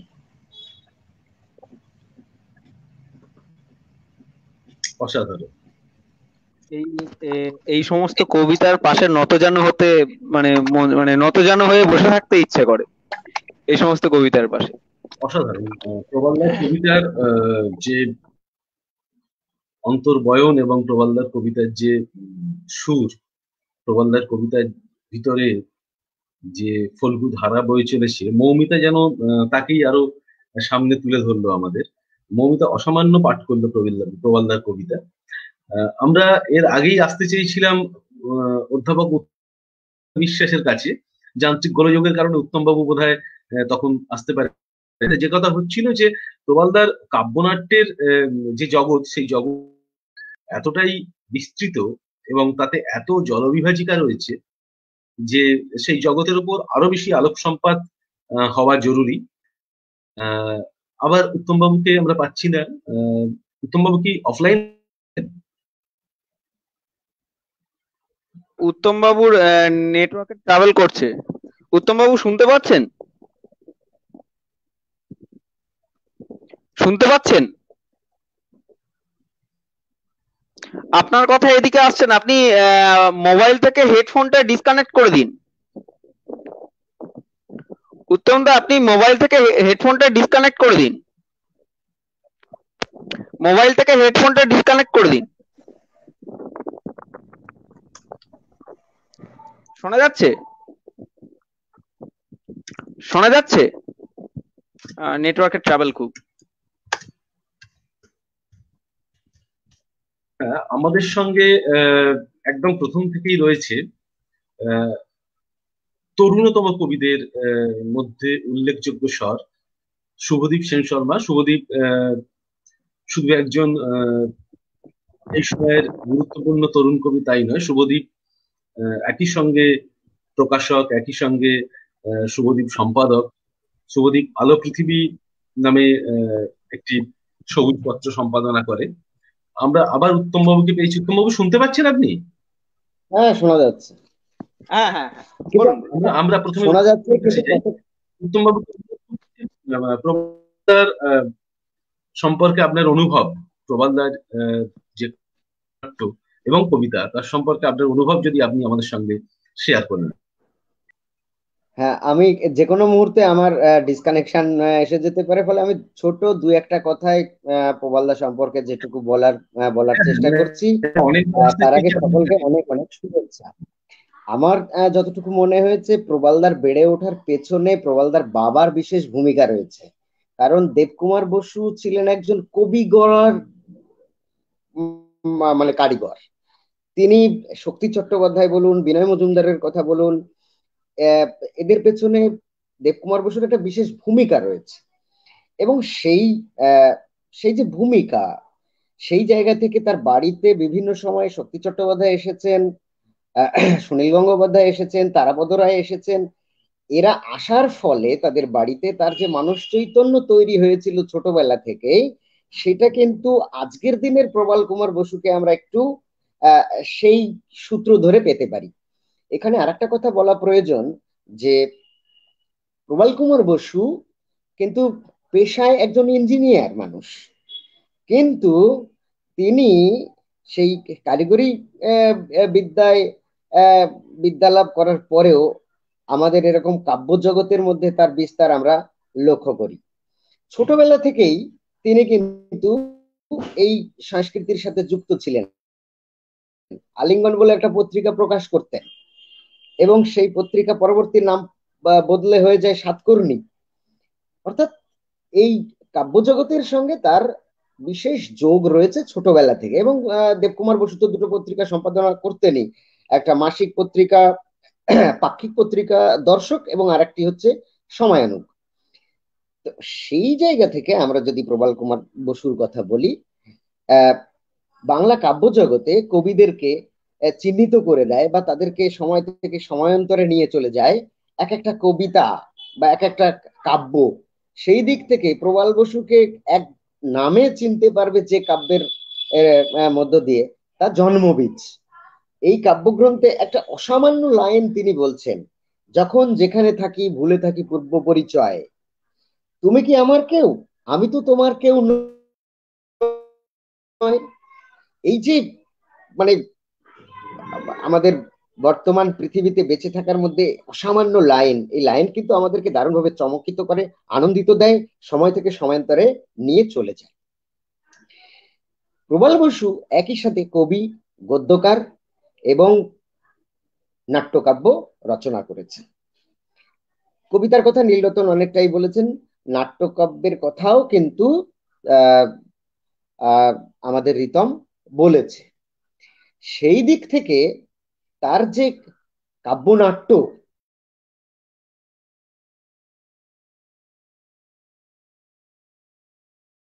কুমার বসু কেন বেছে নিলেন, সেইটা কিন্তু আমাদেরকে বিচার করতে হবে।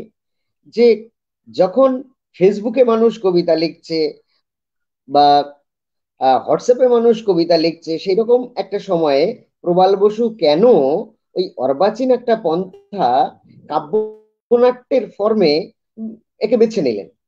সেক্ষেত্রে কিন্তু আমাদেরকে বুঝতে হবে যে প্রবাল কুমার বসু এই এই এই পন্থা অবলম্বন করার ক্ষেত্রে একটা বিশেষ লক্ষণ রয়েছে, একটা বিশেষ ইঙ্গিত রয়েছে। উনিশশো পঁয়তাল্লিশ সালে বা তারও আগে পরে জীবনানন্দ দাস বলেছিলেন যে অদূর ভবিষ্যতে আমাদের বাংলা কাব্যের ধরন আসছে ব্যঙ্গ কবিতা এবং নাট্যকাব্য। তাহলে জীবনানন্দ দাস উনিশশো পঁয়তাল্লিশ সালে দাঁড়িয়ে যে ইঙ্গিত আমাদেরকে করেছিলেন যে অদূর ভবিষ্যতে কিন্তু নাট্যকাব্যের ধারা আসছে, সেই ধারার একজন এই মুহূর্তে অগ্রবর্তী পথিক হচ্ছেন প্রবল কুমার বসু। এবং তার যে নাট্যকাব্য চর্চা বা কাব্যনাট্য চর্চা, সেই জায়গায় দাঁড়িয়ে আমরা বলতে পারি, এটা একটা নাটকের বিশেষ দিক, অথচ মঞ্চে তার অভিনয় হয় না।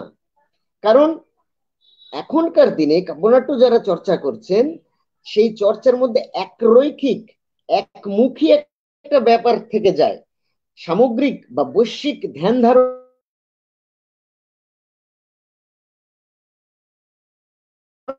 যে ফর্মটা এলিয়াট এবং ইয়াটস, এরা দুজনেই সার্চ করেছিলেন। এলিয়াট কাব্যনাট্যের মধ্যে কিন্তু তার আঙ্গিক এবং ফর্মকে খুঁজেছিলেন। প্রবাল কুমার বসুও কিন্তু তার কাব্যনাট্যের মধ্যে এই আধুনিক জীবনে নতুন ফর্মকে খুঁজে নিয়ে এলেন। আমরা যখন দেখি তার কাব্যনাট্য, বিশেষ করে একদিন হঠাৎ বা অবশ্যম্ভাবী, এর একটা ইন্টারন্যাশনাল রিদম রয়েছে, এর একটা ইউনিভার্সাল রিদম রয়েছে।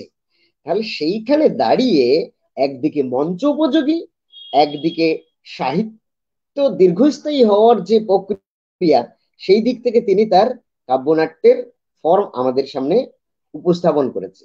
সুতরাং আজকে প্রবাল বসুর ষাটতম জন্মদিনে তাকে নিয়ে যে আমরা আলোচনা করছি, অথচ কিন্তু তাকে বোঝাই যায় না তিনি ষাট বছরের একজন মানুষ। ষাট বছরের একজন যুবক বলে মনে হয়। ষাট বছরটা তার কাছে একটা বালাই ষাটের মতো মনে হয়।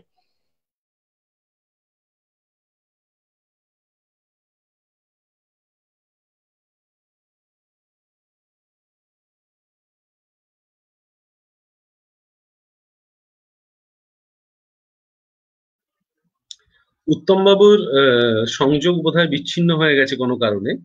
যান্ত্রিক গোলযোগের কারণেই হয়তো। প্রশান্ত কয়েকটি কথা বলে প্রবালদার উদ্দেশ্যে প্রশান্ত তার শ্রদ্ধার্ঘ জানিয়েছে। কিন্তু প্রবালদা তো আমাদের কাছে খুব প্রিয় কবি। আমি প্রশান্তকে অনুরোধ করব যে, প্রশান্ত, তুমি যদি প্রবালদার একটি কবিতা পড়ো।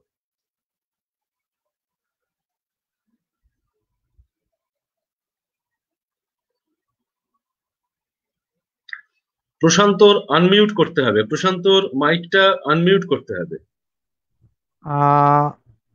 প্রবালদার কবিতার মধ্যে যে কবিতাটা আমার এই মুহূর্তে হাতে খোলা রয়েছে, আমি সেটাই পড়ছি। কবিতাটির নাম, মানুষের কাছে। মানুষের কাছে মানুষ আসে না, মানুষের কাছে জল। কেমন আসে সহজ, কেমন দুদিকে চলাচল, খুলতে থাকে জলের ভিতর, ছায়া গভীর থাকে। ছায়া শীতল, ছায়া নিবিড়, জলও আমার ফাঁকে। মানুষের কাছে মানুষ আসে না, জলে ভেসে আসে ছায়া। মানুষের কাছে মানুষই রেখেছে অনির্দিষ্ট মায়া। ঈশানের মেঘ নিয়ে এলো সাথে, জল রেখা, জল গাথা। মানুষের কাছে মানুষই গোপন রেখেছে নিজের ব্যথা। মানুষের কাছে মানুষ আসে না, ভেসে আসে ছায়া জল। মানুষের কাছে মানুষেরই তবু বেড়ে যায় চলাচল। এই যে একটা একটা অদ্ভুত দেখো মানে কবিতাটার মধ্যে একটা অদ্ভুত একটা কন্ট্রাডিকশন রয়েছে এবং একটা অদ্ভুত খেলা রয়েছে। মানে এটা নিজেরই যেন নিজেই নিজে নিজের মুখোমুখি নিজেকেই যেন নিজের সাথে কথা বলছি। তো এরকম একটা একটা বেশ ইয়ে রয়েছে দ্বিধা একটা রয়েছে, একটা দ্বন্দ্ব চলে। প্রবালদার কবিতায় এই জিনিসটা বেশ একটা ম্যাজিকের মতো কাজ করে যে একটা মানে একটা পারস্পরিক দ্বন্দ্ব। কবিতার মধ্যেই কোথাও যেন একটা সেই দ্বন্দ্ব চলছে। এবং সেই একই জিনিস আমরা প্রবালদার কাব্য নাটকেও দেখতে পাই। যে ওই একটা ওই একটা মানে অন্তর্বর্তী একটা দ্বন্দ্ব, যে কোথাও না কোথাও একটা দ্বন্দ্ব চলে। তো সেটা কিন্তু বেশ একদিক থেকে বেশ ভালো লাগে মানে পড়তে। ওই জন্য বেশ ইন্টারেস্টও বাড়ায়, কবিতার প্রতি আগ্রহ বাড়ায়। তো এই জন্যই প্রবালদার কবিতা আমার খুব ভালো লাগে, যে ওই দ্বন্দ্বটা আমাকে খুব নাড়া দেয়।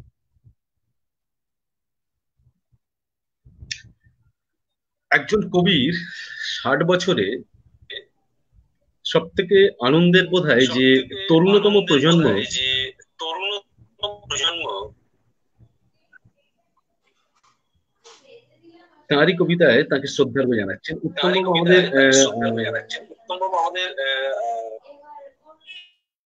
ইকো হচ্ছে শুভদীপ। হ্যাঁ ওটা উত্তম বাবুর উত্তম বাবুর ওখান থেকে ইকো হচ্ছিল। এবার কথা বললে সমস্যা হবে না। কথা বলো, কথা একজন কবি যখন ষাট বছরে পদার্পণ করেন তখন তার সব থেকে শ্লাঘার বিষয় সব থেকে আনন্দের বিষয় বোধ হয় এটাই হয় যখন তরুণতম প্রজন্মে, তরুণতম একজন কবি তাঁরই কবিতায় তাকে শ্রদ্ধার্ঘ জানান। এই যে পরবর্তী দু, তিন, চার দশক পরেও তরুণ কবিরা তার কবিতাকে বুকে টেনে নিচ্ছে, তার কবিতাকে আশ্রয় করে বাঁচছে এবং এই এত মানে উত্তম বাবু বলছিলেন যে ফেসবুক হোয়াটসঅ্যাপের যুগে ভার্চুয়াল রিয়েলিটির যুগে যখন মানুষ কবিতা থেকে দূরে চলে যাচ্ছে, তখন এক তরুণতম কবি তার কবিতাকে আশ্রয় করছে এটা যে একজন কবির পক্ষে কতটা আনন্দের এবং কতটা মানে স্বস্তির একটা বিষয় সেটা বোধ ঠিক সেই অবস্থায় না গেলে বোঝা যায় না। আমাদের সঙ্গে রয়েছেন উত্তমবাবু ছিলেন, উত্তমবাবুর সংযোগ আমরা হারিয়ে ফেলেছিলাম।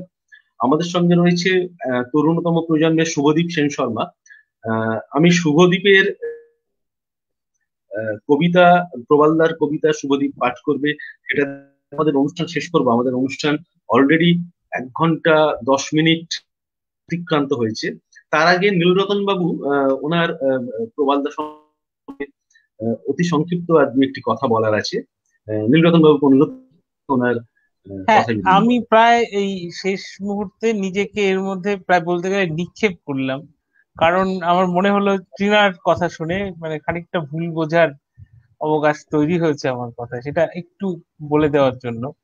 মানে আমি একেবারেই এটা বলতে চাইনি যে আদ্যপান্ত লিরিক ধর্মী কবি প্রবাল বসু। আমি এইটিজের পটভূমিতে ওর প্রথম তিনটে বই ধরেই এই কথাগুলো বলেছিলাম। তার কবিতা নতুন শতাব্দীতে একদম অন্য দিকে ঘুরে গেছে। সেটা একদম ঠিক। এবং সব থেকে বড় কথা যে গন্তব্য আপনাকেই ঠিক করতে হবে, এই বইয়ের যে ভাষার বদল, সেটা কিন্তু পরবর্তী বইগুলোর যে তারই ধারাবাহিকতা চলছে এমন কিন্তু নয়। মানে একটু খেয়াল করুন, ওই বালিতে জলের দাগ, এই এর ভাষা কিন্তু তার আগের আগের আগের সব বই থেকেই আলাদা। আবার একদম সাম্প্রতিক যে বই সেখানেও কিন্তু একদম অন্যরকম। আবার আমার একটা বই সেটার নাম আমার মনে পড়ছে না। একটা বই বোধহয় আছে যেখানে রবীন্দ্রনাথের গানের এক একটা কলি শিরোনাম হিসেবে তিনি ব্যবহার করছেন। ফলে মানে ভাষার ব্যাপারটা এবং এটা কিন্তু একটুখানি মানে বিভিন্ন রকম ভাবেই নিজেকে তিনি নিয়ে গেছেন। বিভিন্ন রকম ভাষার মধ্যে দিয়ে বিভিন্ন রকম ফর্মের মধ্যে দিয়ে তার কবিতাকে তিনি ইচ্ছে করে নিয়ে গেছেন। আমি ছোট্ট একটা কবিতা পড়ে আহ আপনাদের কাছে ছেড়ে দিচ্ছি। আমার খুব পছন্দের কবিতা। কবিতাটার নাম বিবাহ বার্ষিকী। দুটো বিবাহ বিবাহ বার্ষিকী কবিতা আছে, আমি পরেরটা পড়ছি। যে বিবাহ ভেঙে গেছে, তার বিবাহ বার্ষিকী হবে। ফুল আনো, মালা গাঁথো, আর ছিঁড়ে ফেলো জামার বোতাম। নিলাম নিলাম। বিবাহ বার্ষিকী এলে মনে পড়ে, সে বিবাহে আমিও ছিলাম। ব্যাস, এইটুকুই বলবার।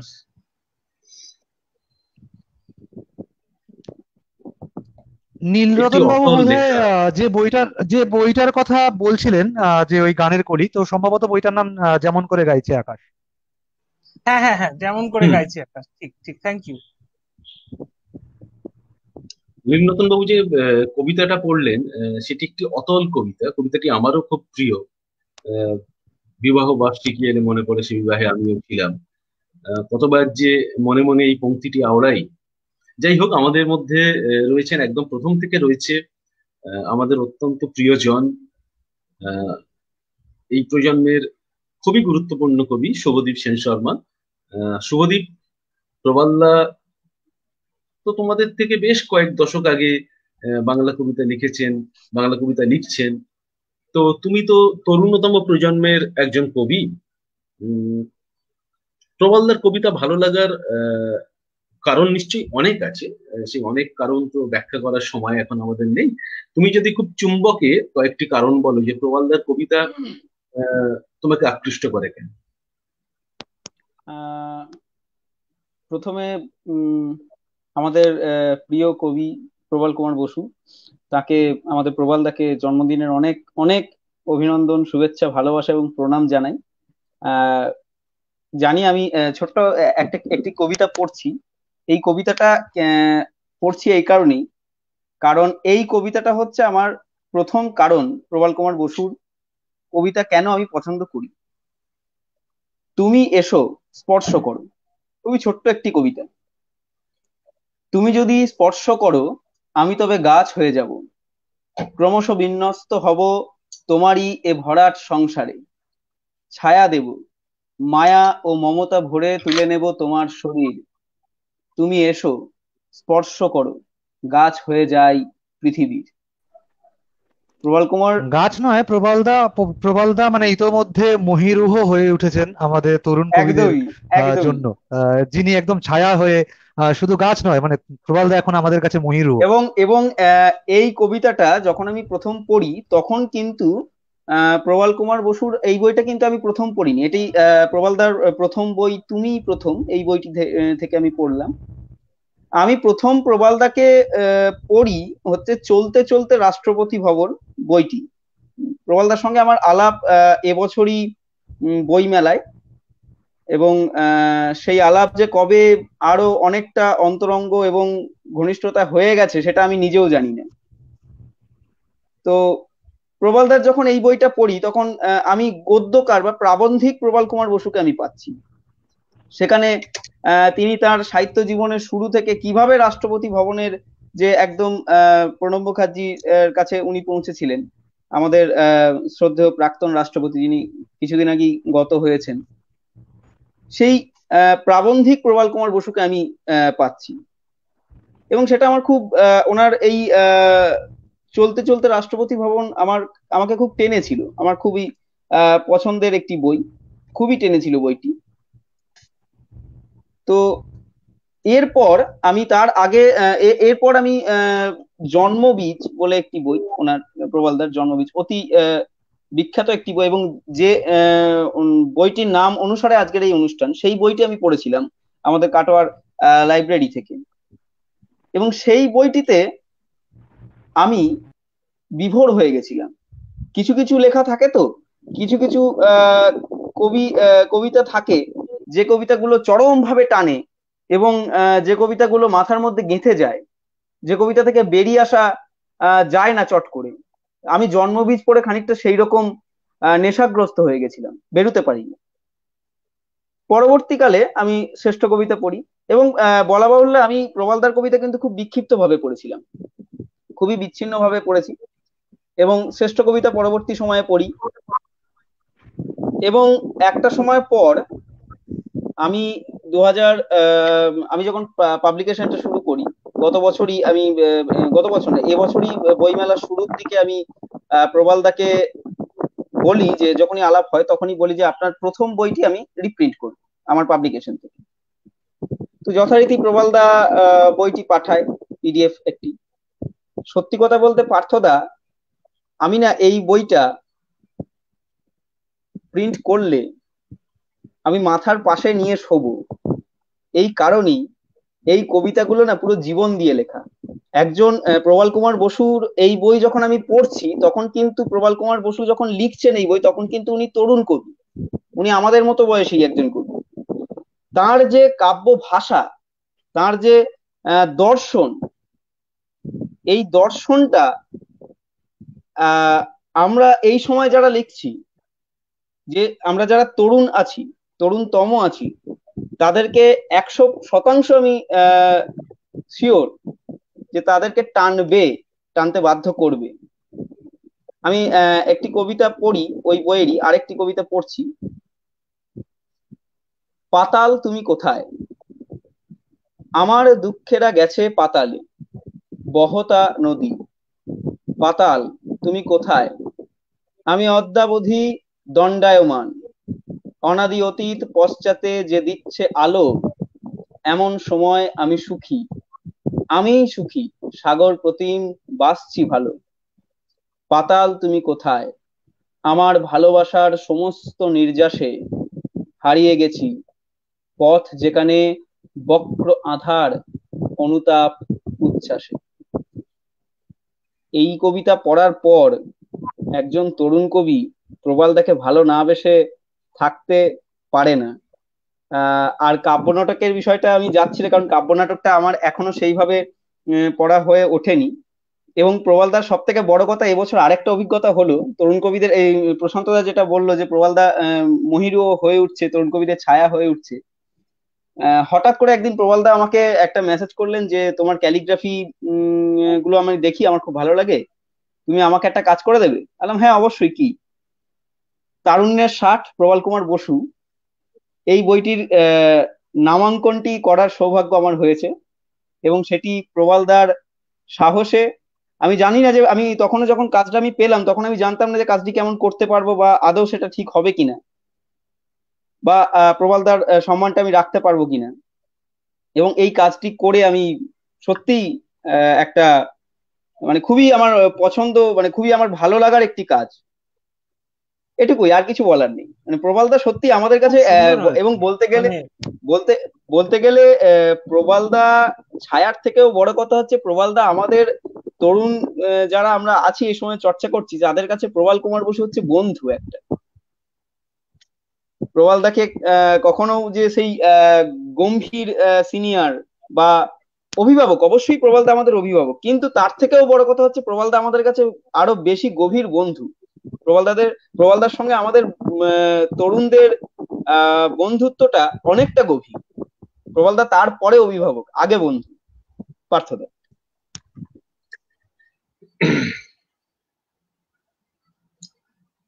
আজকে রিতমের হাত ধরে যে আড্ডা, যে আলোচনা প্রবালদার কাব্য ভুবন নিয়ে আমাদের শুরু হয়েছিল, তরুণতম প্রজন্ম শুভদ্বীপের হাত ধরে সেটি সমাপ্ত হচ্ছে। শুভদীপ খুব গুরুত্বপূর্ণ একটি কথা যে প্রবালদার প্রথম কাব্যগ্রন্থ শুভদ্বীপের ওখান থেকে মুদ্রিত হচ্ছে এবং যখন প্রবালদা এই কাব্যগ্রন্থের কবিতাগুলো তখন শুভদীপ তার বয়সের প্রবালদাকে করতে পারছে এবং হিরে মানে আনকাট ডায়মন্ড বলতে আমরা যেটা বুঝি সেই আবেগ, সেই তারুণ্য নিয়ে প্রবাল্লা তার প্রথম কাব্যগ্রন্থে অশ্রু, রক্ত, ঘাম জড়িয়ে দিচ্ছেন। সেই কাব্যগ্রন্থ আমাদের সামনে আসবে, পুনর্মুদ্রিত হবে, পাঠকের হাতে পৌঁছে যাবে। কারিগর থেকে প্রকাশিত হচ্ছে শুভদীপ যে বইটির কথা বলল, সাড়ে তিনশো পাতার তারুণ্যের ষাট, কবি প্রবাল কুমার বসুর সামগ্রিক বিষয় নিয়ে সেখানে প্রথিতযশা মানুষেরা আলোচনা করেছেন, কলম ধরেছেন এবং প্রবালদার আরও আরও আরও আরও কাব্যগ্রন্থ, আরও আরও আরও আরও গদ্যের বই প্রকাশের অপেক্ষায় প্রবালদার কাছে আমাদের শুধু একটাই চাওয়া, প্রবালদা সুস্থ থাকুন প্রবালদা এমনই থাকুন, প্রবালদা চির তরুণ থাকুন এবং তার কবিতা, তার গদ্য এবং সর্বোপরি মানুষ প্রবালদা আমাদের এমনভাবেই মুগ্ধ করে রাখুন। প্রবালদাকে আমার প্রণাম জানাই এবং যারা এতক্ষণ আমাদের সঙ্গে রইলেন তাদের সবাইকে আমাদের তরফ থেকে শুভেচ্ছা। সবার অনুমতি নিয়ে আমি অনুষ্ঠান শেষ করছি।